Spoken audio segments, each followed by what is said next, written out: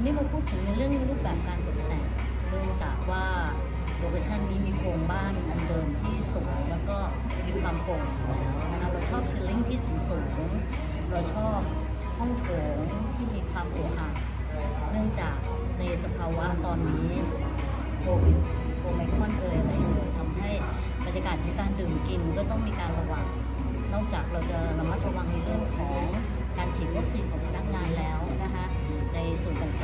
การนั่งที่ทิ้งระยะช่วงของความห่างให้รู้สึกฟิลสบาย comfortable แล้วก็ดูปลอดภัยนะคะจุดตรวจวัดอุณหภูมิพนักงานเราเนี่ยก็มีเทสกันทุกสองวันนะคะเพื่อความปลอดภัยและที่สำคัญเราก็ผ่านกระบวนการของชานะคะแล้วก็ชาพลัสอะไร ตามกระทรวงสาธารณสุขเรียบร้อยนะคะถือว่าลูกค้าที่มาใช้ที่นี่ในการดื่มทานอาหารสังสรรค์เนี่ยมีความปลอดภัยอย่างร้อยเปอร์เซ็นต์รูปแบบรูปแบบของอาหารนะคะถ้าใครเป็นแฟนเก่าของอัมแดงไต้ฝุ่นอยู่แล้วที่เราเปิดมา 3 ปี 4 ปีที่แล้ว จะทราบดีว่าเราได้มิชลินเพจนะคะแล้วก็อยู่ในมิชลินไกด์เนี่ย ปี 2020กับ2021 นะคะ แล้วก็ตอนนี้อ่าแน่นอนมาที่นี่สิ่งที่พลาดไม่ได้ก็คือ signature ของเราก็คือตัวปู spicy crab นะคะ แล้วก็ขนมอำแดงไต้ฝุ่นอันนี้เป็นสูตรต้นตำรับของฮ่องกงที่เราไปร่ำเรียนมา แล้วก็นำมาปรับปรุงรสชาติที่เข้ากับคนไทยนะคะ แล้วก็ความไม่เลี่ยนไม่มัน แล้วก็ปูที่สดเนี่ยฮะ ก็ถือว่ายังคลองใจอยู่เป็นหนึ่งในท็อป 10 ของเราที่ขายดีของร้านอยู่นะคะ แล้วก็แน่นอน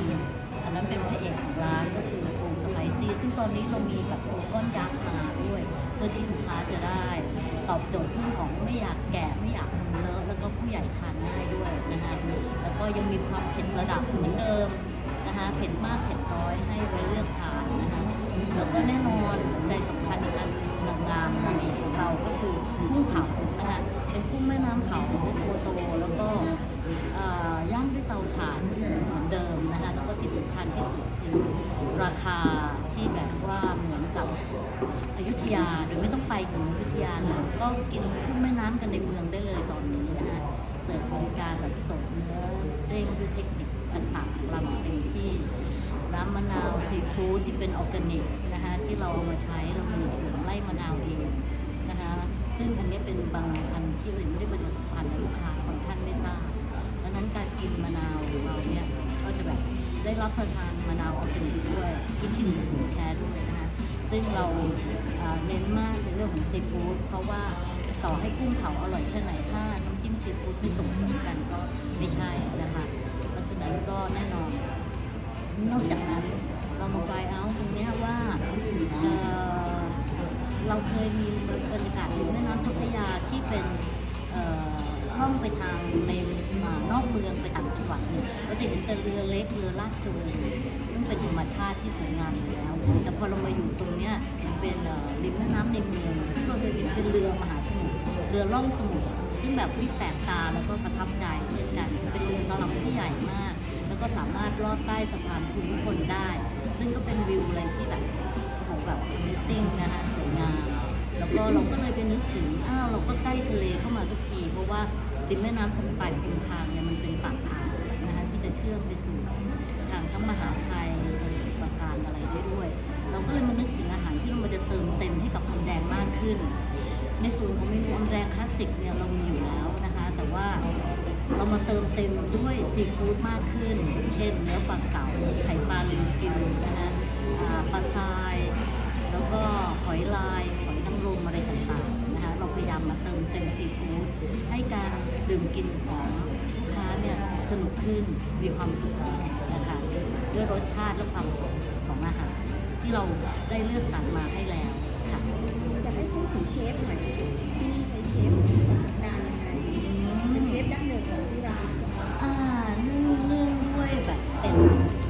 เคชันใหม่ เราอาจจะมีปัญหาในตอนแรกหน่อยนะคะเรื่องของเชฟที่เราจะต้องหาสุดยอดฝีมือแล้วมาเทรนนิ่งในตามสูตรของเรา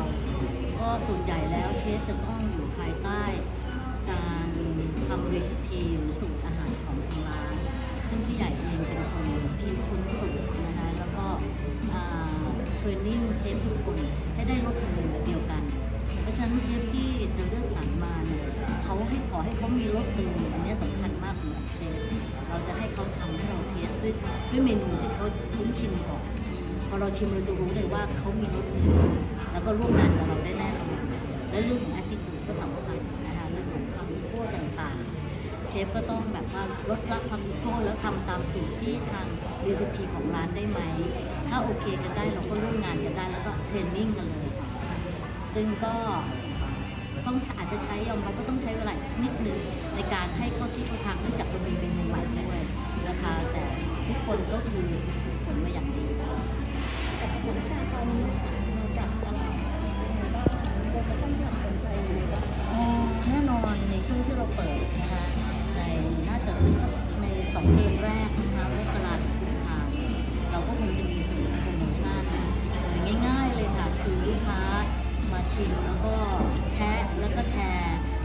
จของตัวเอง จะได้บอกกล่าวเพื่อนฝูงให้มา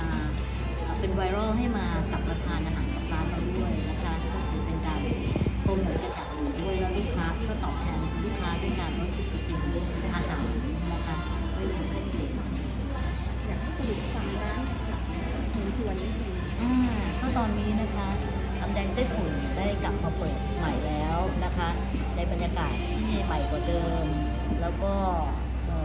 ามขึ้นโอถงขึ้นนะคะเหมาะกับการสังสรรค์แล้วก็ไม่ว่าจะเป็นครอบครัวหรือหมู่คณะสามารถรองรับได้เยอะทั้งกลางวัน แล้วก็เปิดทั้งวันเลยไม่มีปิดเลยนะคะจะมาทานตอนไหนก็ได้ เปิดตั้งแต่ 11โมงจนเอ่อครัวปิด4ทุ่มทุกวันค่ะ แล้วก็ที่จอดรถก็สะดวกสบายก็แต่ส่วนใหญ่แล้วคนก็จะจองริมน้ำคนกันเยอะมากนะคะ เพราะว่าที่นี่เนี่พักที่สวยมากจริง ก็อยากเชิญชวนให้ถ้าจะมาทานในมื้อเย็นก็จองริมน้ำกันนิดนึงนะคะโทรมาจองก่อนจะได้จัดสรรพื้นที่ให้ค่ะ